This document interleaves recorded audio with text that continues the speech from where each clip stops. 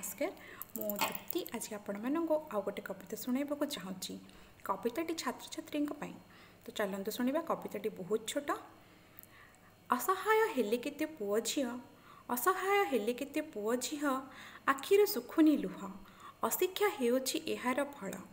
ଅଶିକ୍ଷା ହେଉଛି ଏହାର ଫଳ ପଢ଼ିବେନି ପାଠ ପଢ଼ିବେନି ସାଠ ଜବାବ ଦେବେ ଗୁରୁଜନଙ୍କୁ पढिबेनी पाठ पढिबे नि साठ जवाब दे गुरजनको से पि देव केते कष्ट केते लोक फलस्वरूप पश्चात्ताप कले ह किस फलस्वरूप पश्चात्ताप कले ह किस सजग हो छात्र छ सजग हु छात्र देश र भावी नागरिक भांगनी भाङनी मेरुदण्ड